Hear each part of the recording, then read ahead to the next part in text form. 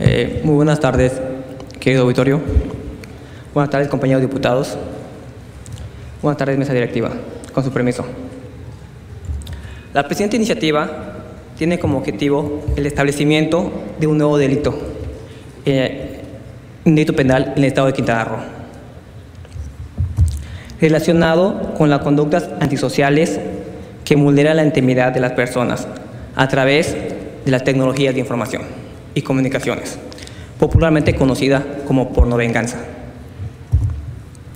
La pornovenganza hace referencia a la acción de divulgar, popularizar contenido de naturaleza sexual o pornográfica de una persona, sin importar que dicho contenido haya sido conseguido con consentimiento del sujeto afectado. Es importante mencionar, compañeros y compañeras, que a pesar de que esta clase de conductas afectan de manera trascendental a las personas, ya que vulneran su intimidad, su imagen y su honor, actualmente en el Código Penal del Estado no se encuentra un delito específico sobre esta conducta antisocial. Por lo que las personas que realizan estas conductas antisociales no tienen ningún castigo. Y las personas que sufren de difusión de contenido íntimo personal son víctimas de la impunidad.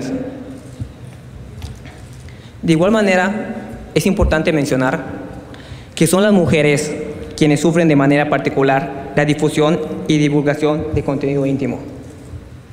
Por lo cual, la iniciativa en cuestión también tiene como objetivo reformar la ley de acceso a las mujeres a una vida, a una vida libre de violencia en el estado de Quintana Roo. Que las reformas a la ley de acceso a una vida libre de violencia en el estado de Quintana Roo radican de manera exclusiva en la creación de un nuevo tipo de violencia contra las mujeres, conocido como violencia digital. Y de igual forma contempla la posibilidad que las distintas autoridades puedan solicitar a las compañías de las tecnologías de información el retiro inmediato de sus plataformas digitales del contenido íntimo publicado.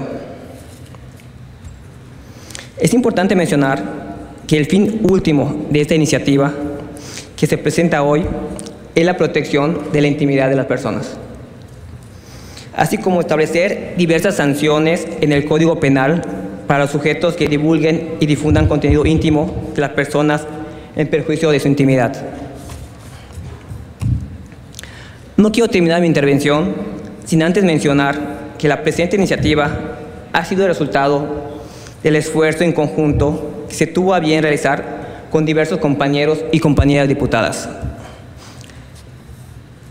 así como su equipo de asesores y asesoras del Instituto de la Fiscalía General, del Instituto de Transparencia y Acceso a la Información, de la Comisión de Derechos Humanos, y personal del Tribunal Superior de Justicia en el Estado de Quintana Roo, a los cuales les agradezco de antemano todas sus aportaciones y contribuciones al trabajo legislativo de este Congreso.